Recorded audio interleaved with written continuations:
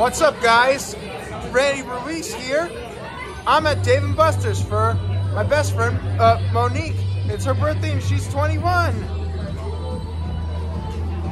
So, so I'm at Dave and Buster's here my friends. Uh, you remember some from uh, from when I went to the movies.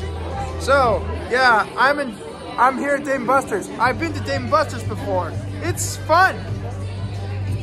And yeah, like my friend Alberto told me, uh, go subscribe to his YouTube channel. Subscribe to my YouTube channel. And uh, hit the post notifications. And uh, yeah, uh, just like and subscribe, people. So, so this is the uh, the, the vlog.